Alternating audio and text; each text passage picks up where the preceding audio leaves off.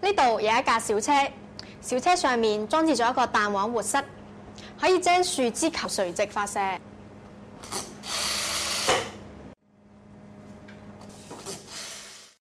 將架小車放喺平滑嘅跑道上，然後輕輕推一下，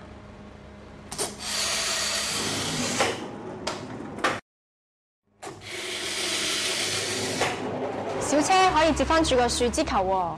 同學可唔可以解釋到呢？而家將跑道嘅一邊升高，再重複實驗。我哋睇多一次，小車可以接翻住個樹枝球喎。同學可唔可以解釋到呢？